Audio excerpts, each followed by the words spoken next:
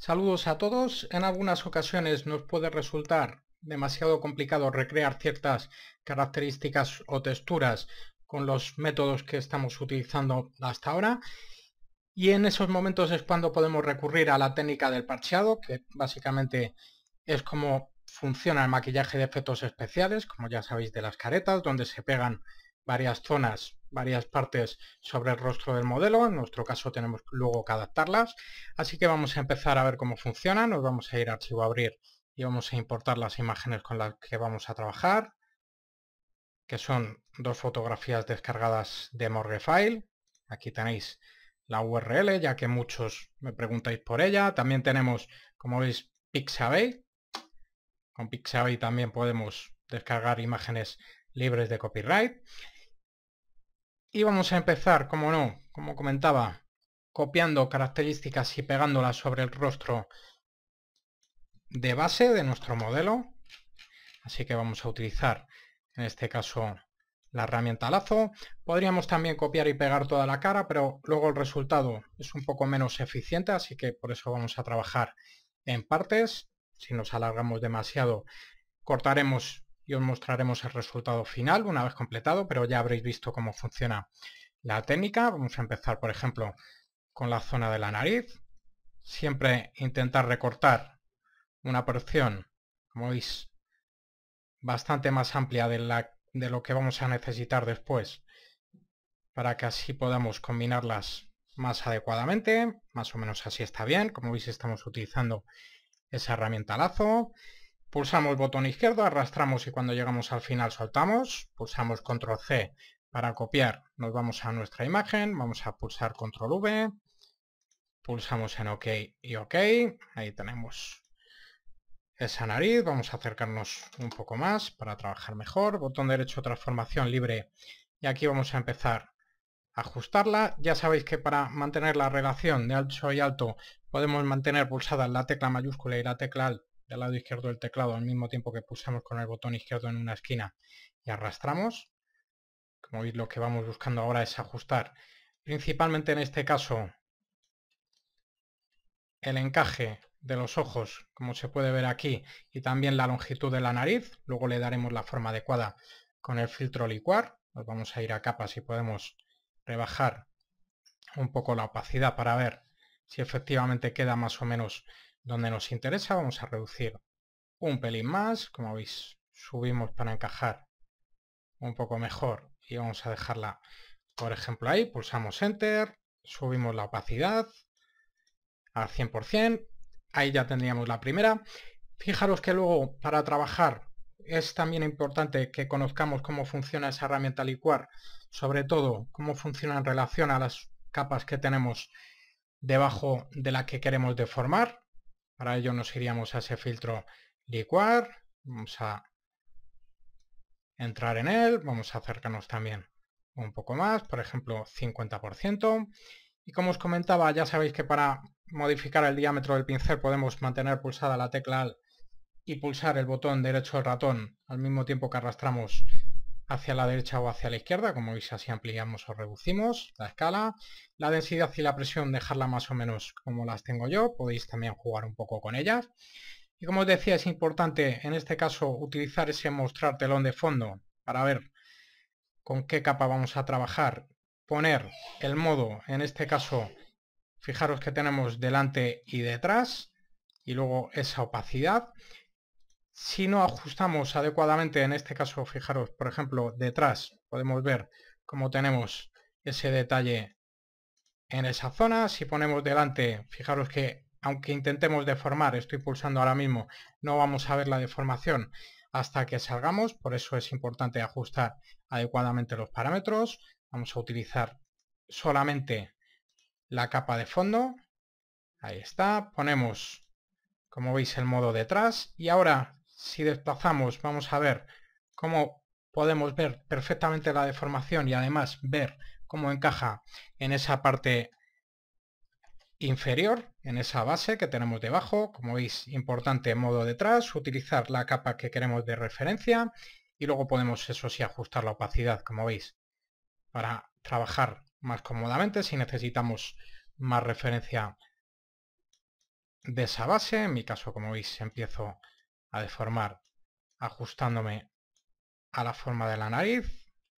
Con mucho cuidado. No vamos a utilizar una deformación demasiado intensa. Vamos a dejar un poco más de forma en la nariz porque si no va a quedar un poco extraña. Pero es más o menos para que se vea cómo se trabaja. También podríamos, como veis, dar forma si quisiéramos a la parte de la boca, incluso encajar un poco mejor el ojo como podéis ver. Aquí podemos trabajar muy bien con estas herramientas. Vamos a estrechar un pelín esa nariz. Como veis vamos pulsando, arrastramos y soltamos. Pulsamos con el botón izquierdo sin soltarlo, arrastramos y soltamos. Y así vamos adaptando esa zona, pulsamos en OK y ya tenemos aplicada esa deformación adaptada a la forma que tenemos de nuestro modelo que está por debajo del recorte que hemos hecho, selección de seleccionar, vamos a trabajar ahora con la boca, de igual forma recogemos una porción, como veis, un poco más amplia para luego tener posibilidad de trabajar con ella, control C, control V, aceptamos, botón derecho, transformación libre, vamos a ajustar siempre en primer lugar la escala, aquí ya sabéis que podemos rebajar la opacidad para encajar mejor esa boca, vamos a dejarla más o menos en esta posición, pulsamos enter, opacidad al 100%, fijaros que aquí tenemos un ligero problema, no pasa nada, luego podremos duplicar como ya sabéis y retocar alguna cosilla más, de todas formas voy a desplazar esta porción un poco más hacia arriba. Para ello lo que voy a hacer es nuevamente filtro licuar, pulsamos en OK, no pasa nada porque se muestren las de debajo, voy a reducir el pincel un poco, como os decía vamos a aumentar hacia arriba. Siempre con cuidado de tampoco deformar demasiado, porque ya sabéis que luego se nota mucho. Fijaros que aquí se produce una especie de duplicidad. Vamos a reducir también ese tamaño del labio para ajustarlo al del modelo. Como os decía, fijaros, colocamos fondo, ahí está. Ajustamos la opacidad y ya podemos trabajar cómodamente, colocarlo, como veis, a esa misma medida. Si quisiéramos, vamos a adaptarlo, adaptarlo, perdón, un pelín más.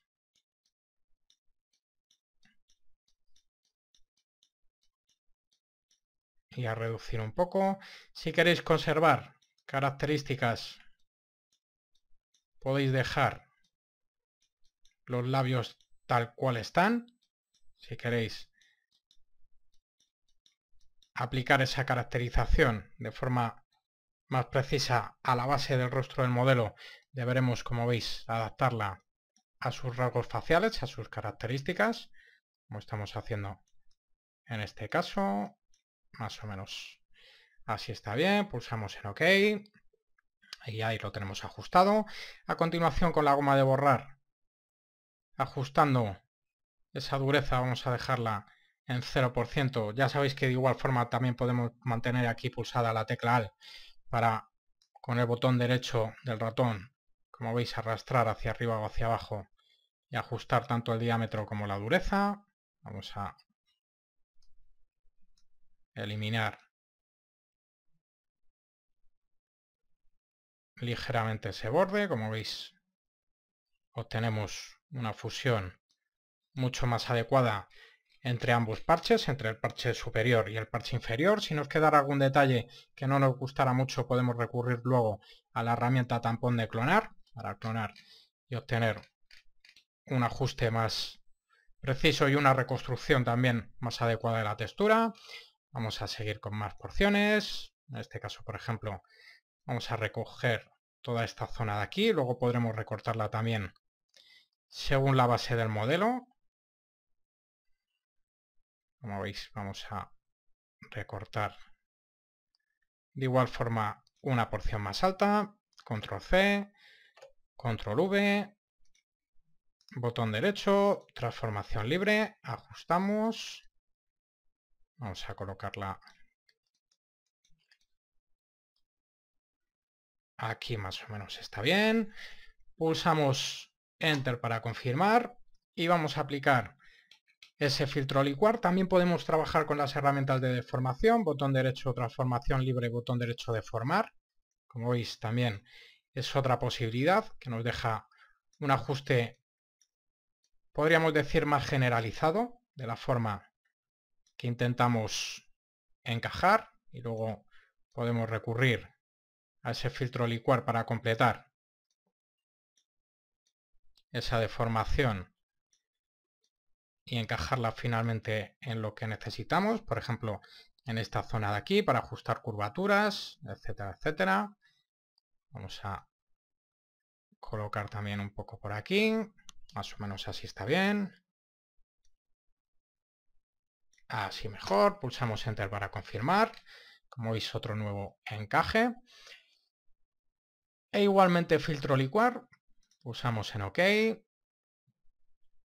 Vamos a acercarnos igualmente y vamos a empezar a trabajar sobre esa capa. Primero vamos a encajar estas zonas. Esta la voy a dejar tal cual. Y una vez ya tengo encajado lo que me interesa, vuelvo a ese fondo, como veis. Y voy a darle un poco más de tamaño y hacer un poco más gruesa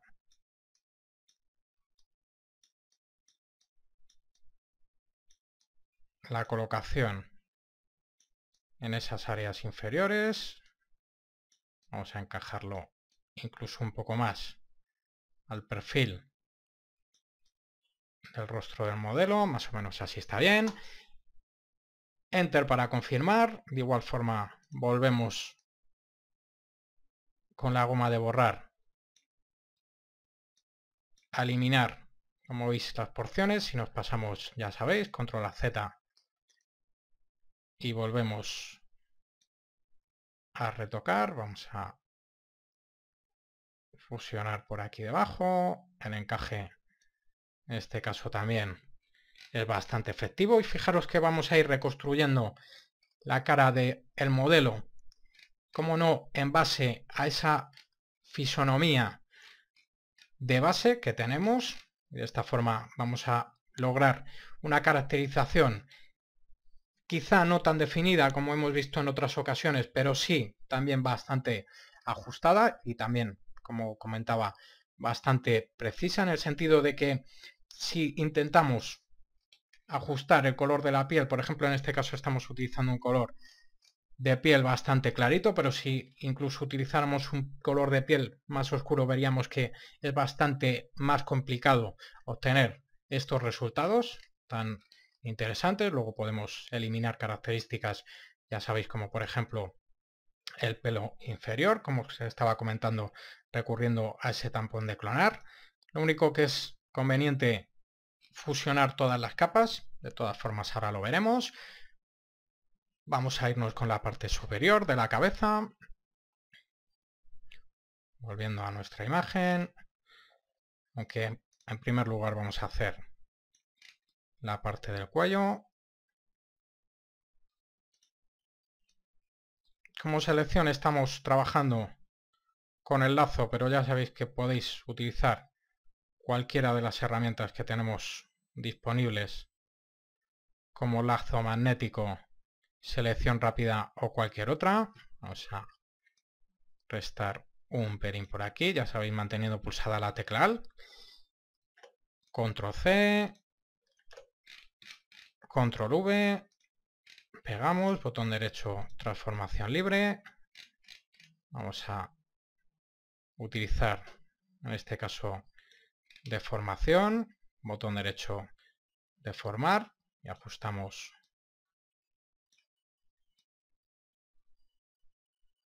como hemos visto antes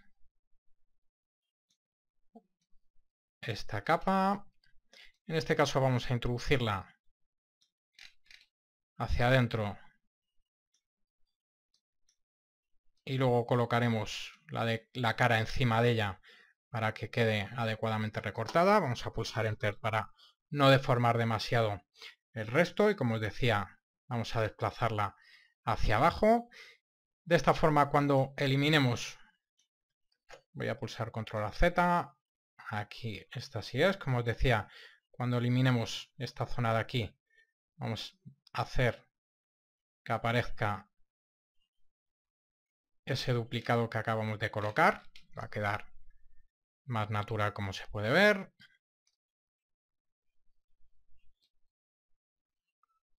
Vamos a dejarla más o menos así. Luego trabajaremos con el tapón de clonar si hiciera falta. Y vamos a dejar esto de todas formas un poco más integrado para que se vaya viendo cuál va a ir siendo ese resultado final. Vamos a trabajar ahora con la zona de los ojos. Selección de seleccionar. Podemos hacerlo de uno en uno o con ambos a la vez. Aquí es conveniente tener un poco más de cuidado en esa selección, aunque luego ya sabéis que se puede también recortar o borrar lo que necesitemos. Vamos a coger ambos al mismo tiempo y así trabajamos un poco más rápido. Como veis con mucho cuidado. Voy a venir más hasta aquí. Control C, de igual forma Control V. Ok, ok. Esta vamos a colocarla arriba del todo arrastrando. Botón derecho transformación libre. Ajustamos en primer lugar la escala para que encaje aproximadamente en los ojos.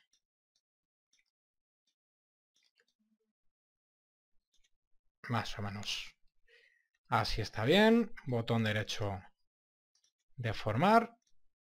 Y aquí con mucho cuidado porque como veis, si deformamos más de la cuenta, vamos a deformar también esa zona de encaje del ojo, aunque luego podemos corregir con la herramienta licuar, aunque si lo dejamos lo más ajustado posible, mejor que mejor siempre. Vamos a encajar en su posición. Más o menos así está bien. Pulsamos Enter. Nuevamente goma de borrar. Podemos aplicarla antes o después. O como veis, hacer un ajuste inicial y luego ya volver a trabajar con ella. Aquí tenemos el resultado. Se puede observar cómo vamos obteniendo una cara bastante encajada en lo que es el rostro del modelo de base que tenemos. Vamos a ajustar esta de aquí antes de nada porque quiero, como veis, acercarlo un poco más al contorno. De todas formas, vamos a eliminar un poco esta parte de aquí. Así está bien. Luego tenemos esta de aquí, que es la que vamos a ajustar. Filtro licuar, de igual forma acercamos y vamos a ir, en este caso voy a actuar directamente con ese ajuste del fondo para ir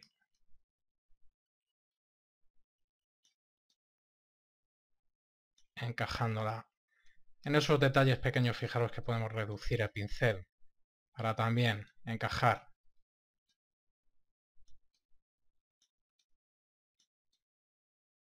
el rostro de forma interactiva muy rápidamente. También podemos trabajar en la zona de los ojos.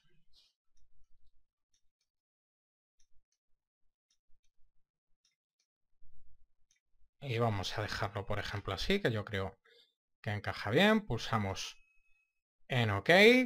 Y ahí tenemos el encaje.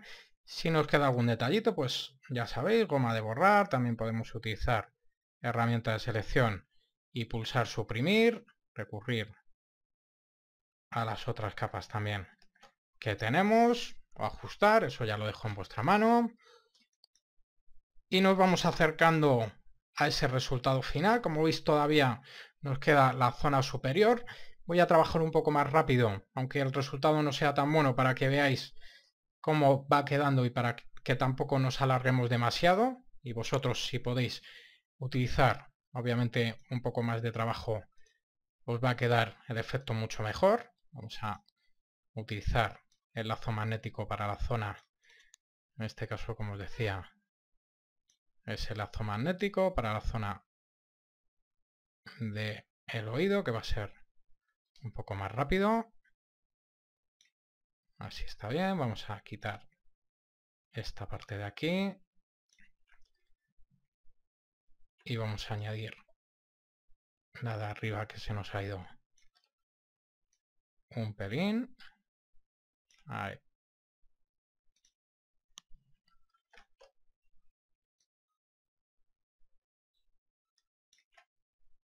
se nos está desencajando, pero no pasa nada. Vamos a encajarla ahí, ya está. Control C, Control V, botón derecho, transformación libre. Vamos a encajar.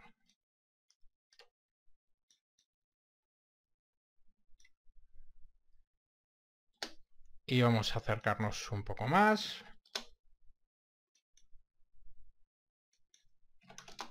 50%, ya sabéis, eliminamos siempre si es posible utilizar el tamaño de goma de borrar más amplio que se pueda porque luego el encaje va a ser más adecuado. Vamos a trabajar con esa capa, filtro licuar.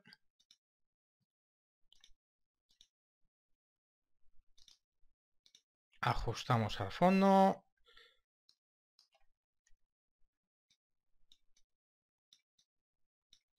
Y adaptamos esa forma.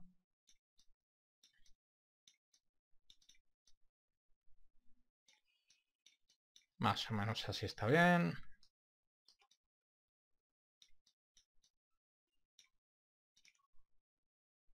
Pulsamos en OK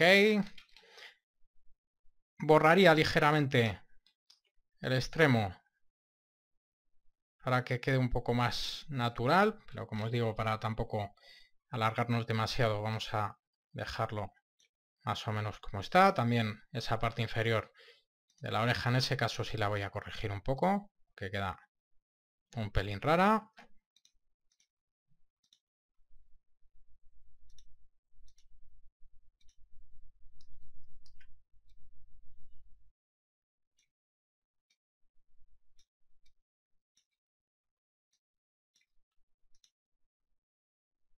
Ahora encaja mucho mejor con la forma de la cara. Y como os decía, vamos con esa parte superior.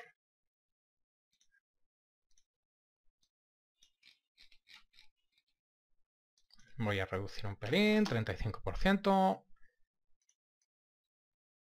Vamos a empezar con la herramienta lazo.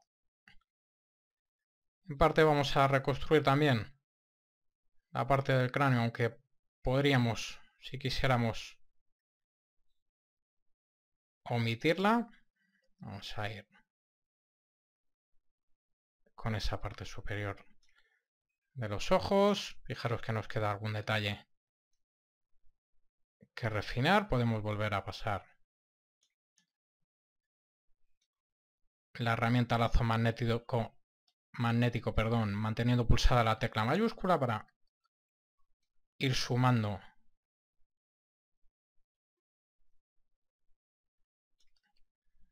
nuevas selecciones. Incluso utilizar, como ya sabéis, ese perfeccionar borde que hemos utilizado ya en otros tutoriales, perfeccionar borde para refinar ese contorno. Vamos a hacer un poco más de contraste suavizado y calar.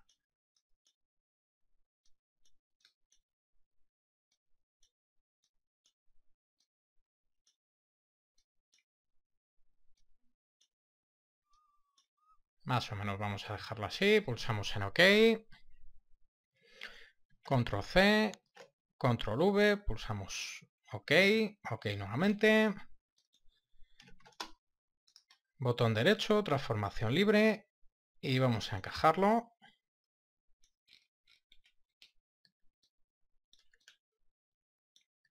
Fijaros que hay bastante variación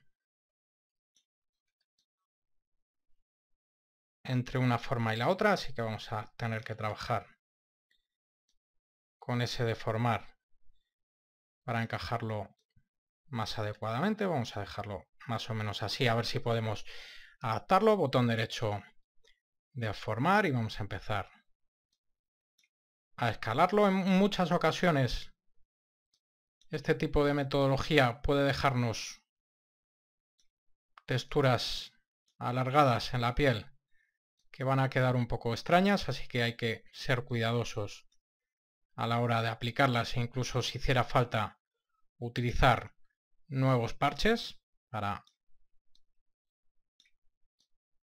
que no quede, como digo, tan deformado. Nosotros vamos a intentar encajarlo lo mejor posible para no extendernos mucho más. Pero como digo, luego os dejo en vuestra mano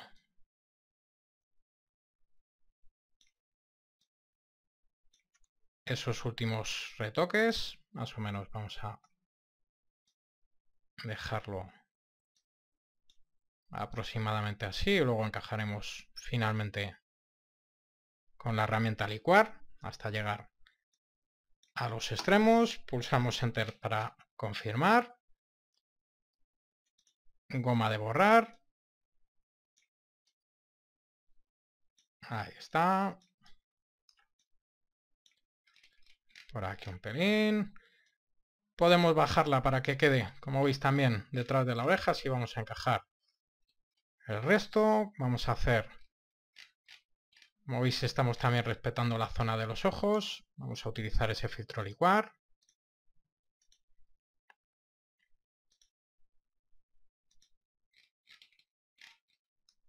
En este caso vamos a reducirlo un pelín más.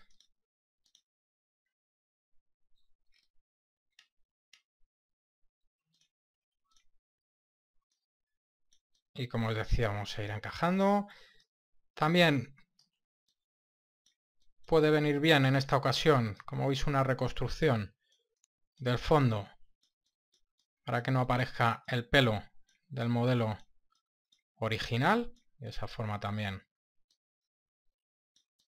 se encaja mucho mejor aunque más o menos vamos a dejarla así 50% como veis ahora es también ese momento de utilizar esa herramienta licuar para ajustar la curva de la parte superior del cráneo y que nos quede mucho más natural, esas pequeñas deformaciones que aparecen, las podemos, como veis, encajar mucho mejor.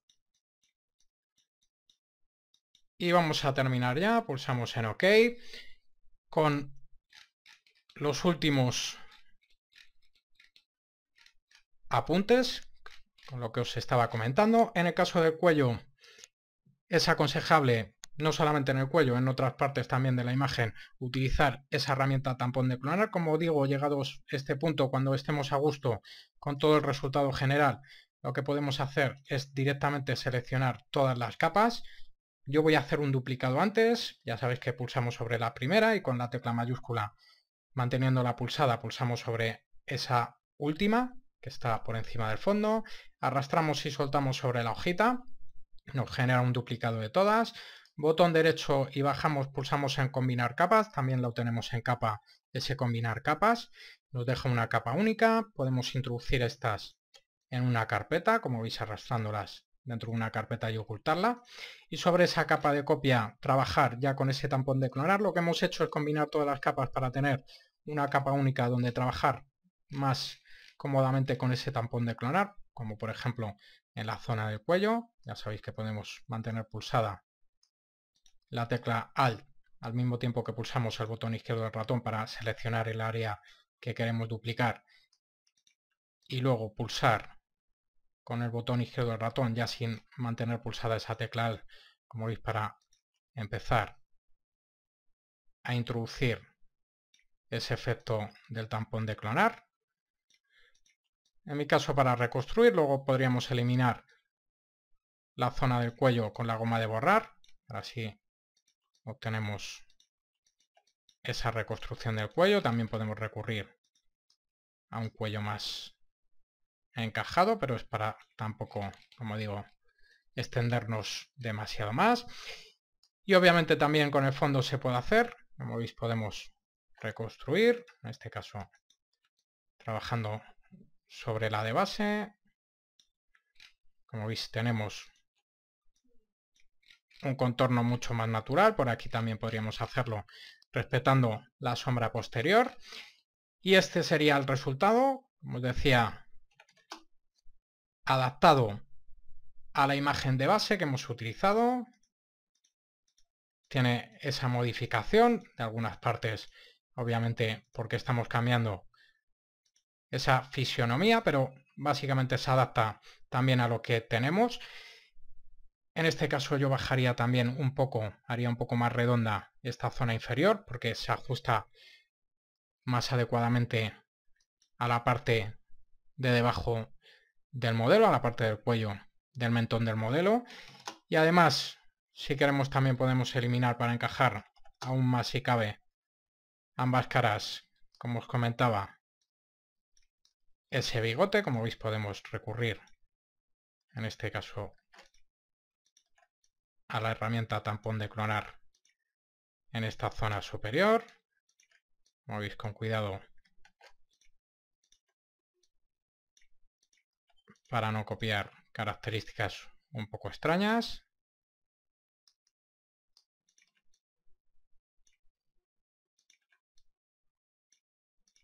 Y también con cuidado de no duplicar demasiado las texturas que tenemos. Intentar también corregir las zonas de iluminación todas formas lo dejo en vuestra mano, que ya hemos visto en otras ocasiones cómo hacerlo. Todo es cuestión de ir trabajando después en ese modelo. Y ahí lo tenéis. Esto es todo por hoy. Saludos a todos y hasta la próxima.